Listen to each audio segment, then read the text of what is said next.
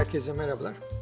Las Vegas'ta bulunduğum süre zarfında yaptığım gözlemleri ve e, gördüğüm güzellikleri e, sizlerle bu videoda ve daha sonraki videolarımda paylaşacağım. Bu ilk videomda e, Bellagio Otel'in önünde bulunan su gösterisini sizlerle paylaşmak istiyorum. Harika bir gösteri. Her 15 dakikada bir saat akşam 7 ile 12 arası her 15 dakikada bir bu gösteri yapılıyor.